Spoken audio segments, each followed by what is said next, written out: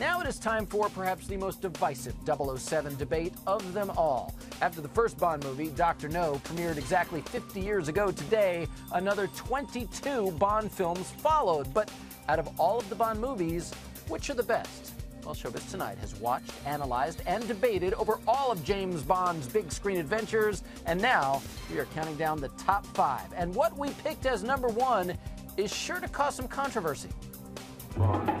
James Bond. For 50 years, we've watched James Bond defeat more villains, Your time's running out, Stromberg. rock more tuxes, I think my mouth is too big.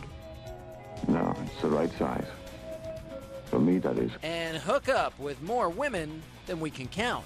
But Showbiz Tonight can count down the top five greatest James Bond movies. Yes, that would be splendid. Number five on the Showbiz Countdown is 1977's The Spy Who Loved Me. Can you swim? It included that cool amphibious car and a bad guy with a cool ocean fortress. Within minutes, New York and Moscow will cease to exist. I think The Spy Who Loved Me is one of the better Roger Moore Bond movies. Number four on Showbiz Tonight's countdown of the top five Bond movies, 1969's On Her Majesty's Secret Service. Who is it? Bond.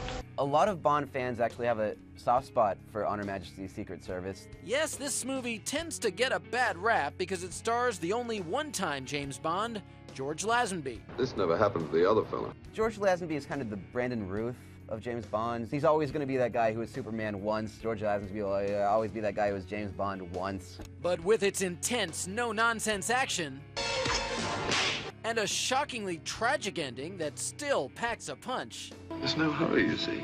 You have all the time in the world. On Her Majesty's Secret Service is now widely known as perhaps the most underrated of all James Bond movies. On Her Majesty's Secret Service ages really well, and it actually still holds up.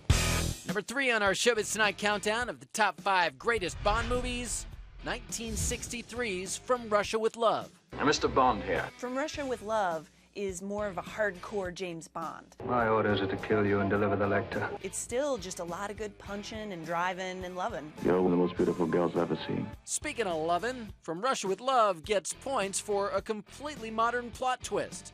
Bond gets threatened with the release of a secretly made film of him, um, bonding with a beautiful woman. Today, threatening to release a James Bond sex tape wouldn't be like a blackmail plot. It would be just something that would get him a reality show.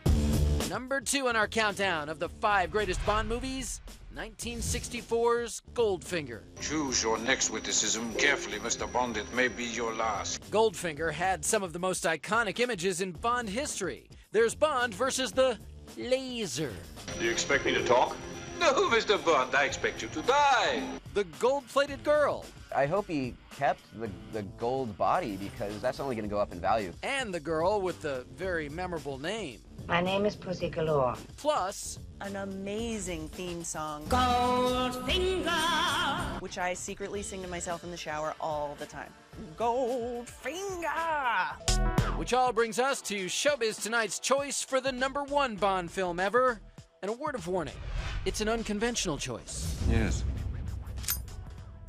Considerably. Yes, we're calling 2006's Casino Royale the greatest Bond film of all time. You're joking. Easy, Sir Connery. Hear us out. This is gritty, it's dark, it's smart. Tell him I've hidden the bodies down here. Casino Royale remains the top grossing Bond film ever, and as a first time Bond, Daniel Craig kills it. Daniel Craig manages to bring a real humanity to Bond. Whatever is left of me, I'm yours. What really sets this one apart?